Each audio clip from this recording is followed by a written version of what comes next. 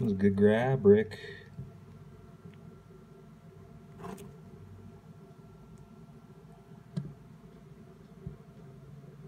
On the back of the head.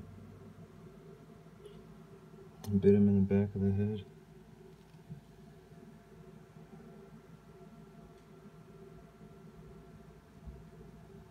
Uh -huh.